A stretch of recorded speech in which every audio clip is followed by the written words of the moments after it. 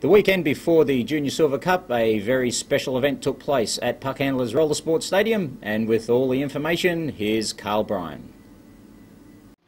A few months ago, we came up with a great idea. We thought we'd try break a world record. Here we are. The goal was a 24-hour uh, hockey game. We're now sitting on hour 22 and a half. Let's go see how the players are faring.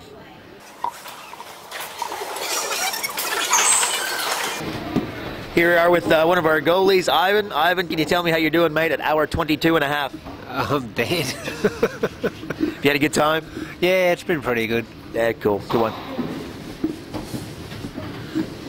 Mars Bar, we're sitting here, hour 22 and a half. Can you tell our fellow viewers how we're, how we're traveling? Um, we're traveling well, we're winning, but we're all mega, mega tired. I don't blame you. Yeah.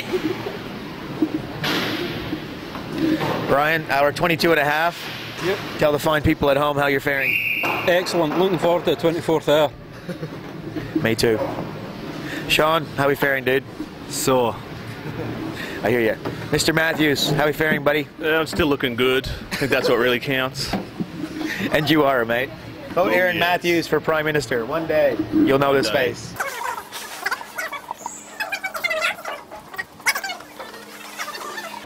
Our head of first aid here, Denise. Denise, how we traveling? Hour 22 and a half. Oh, God.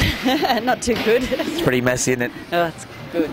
Denise has been drafted to one of the pro league teams, by the way, in the women's division. Beautiful. Good work. Thanks, Carl. Dusty, what's going on, mate? Hour 22 and a half. How we traveling, bud? Uh, not too well, not too well at all. Had a good time? How's it been? Uh, yeah, it's been pretty good, pretty good. Apart from uh, no sleep, but yeah. I hear you. Glad it's nearly over. Uh, yeah, I'm just glad to get back to a nice warm bed, I think. I hear you. Chris, baby, got two grand finals today. This man's here. He's got two grand finals to play. Still here, hour 22 and a half. How we doing, buddy? I'm screwed. Are you still alive? Barely, but I'm here. Doing very well. Chris, what's going on, buddy? Doctor of the Cannons. How we traveling? Hour 22 and a half. I'm tired, sore. Just don't- I just want to go home and sleep. We're here with Steve Luxford. He's got an opinion on whether or not the guys are a little bit tired. Everyone's knackered. Parents want to go home. Half the players are dying. What do you reckon, Steve? Should we ask him to pull the pin? Carl, if you ask those hockey players whether they want to stop playing, you've got to be kidding. They will play until they drop dead.